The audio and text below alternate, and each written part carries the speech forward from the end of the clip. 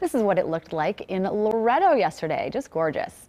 The snow adding to the outdoor fun, while the sub-zero temperatures, well, they add to the list of challenges. Despite those, today is the day hockey fans have been waiting for. Here's a live look now at Target Field, which is transformed into an ice rink for, of course, the Winter Classic.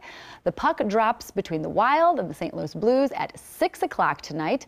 This Winter Classic is sold out and expected to draw about 38,000 fans, so everybody better bundle up.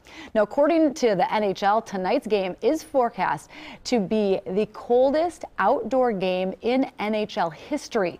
The league has actually installed a system that will warm the ice to keep it from getting too cold. Yes, that can happen. It can become too brittle.